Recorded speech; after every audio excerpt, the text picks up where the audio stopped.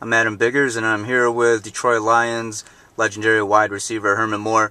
Herman, right now the Lions are in training camp, and unfortunately, there's a couple other issues surrounding them. How how big of an impact is Cliff Avril's uh, holdout having on the team?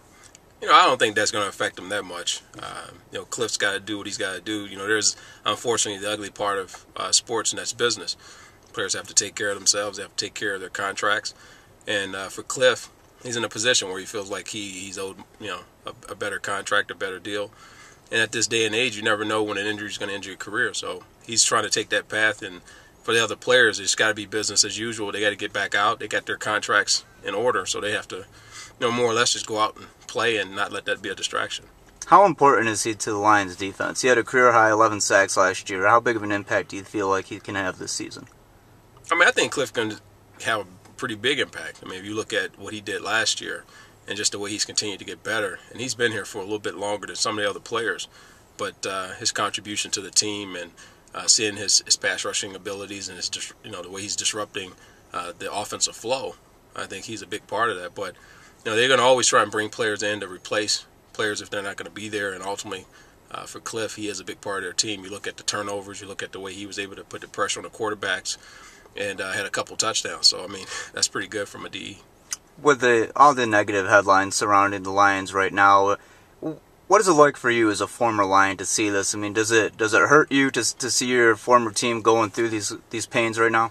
You know, it's a tough deal, man. It's it's one of those deals where you look at the Lions, and this is an organization that's definitely on the uptick, and and they got some really good players. Uh, the coaching staff, I really like you know all the things that are being written about the Lions, but when you see the negative parts that come out uh, by uh, a few of the players, um, it is disappointing. I know those players are, are, thinking the same thing. Their teammates are thinking the same thing about them, and you just can't have it. There's no no no place for it, and uh, for them, I hope that they'll they'll get their act together and and do the right thing. But uh, for the most part, you know, the team as a whole can't be held accountable for a few, and uh, for the guys that are there and are doing right, you know, you got to tip your hat to them and just say, listen keep doing what you're doing.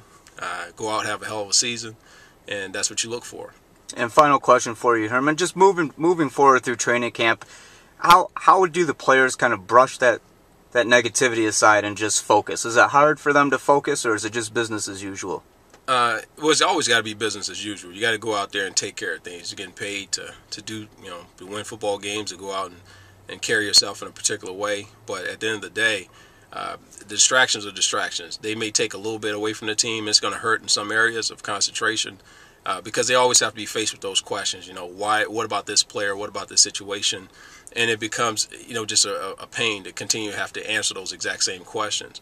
And even as a former player, I get asked that question a lot. So I can't imagine what the current players have been having to, you know, basically having to deal with at this point. But um, the distraction should be kept at a minimum. I think the coaching staff is going to have to make sure they, they talk to the players about what needs to be done to keep that you know pretty much out of the media. But it all it comes down to this: players just have to be accountable. Uh, they have to take care of business both on the field and off the field.